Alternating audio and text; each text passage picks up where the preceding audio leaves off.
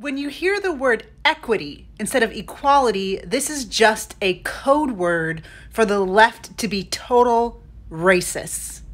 Watch this. In our communities of color that are most impacted by these extreme conditions and and impacted by by issues that are not of their own making. And, and so women. we Absolutely.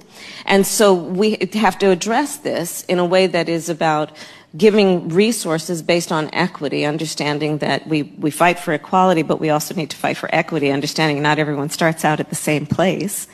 She is talking about distributing funds to communities of color first for Hurricane Ian. First of all, when is a community ever completely homogeneous? What percentage is going to be the cutoff? No, no, you don't withhold aid from people because of the color of their skin. This is disgusting.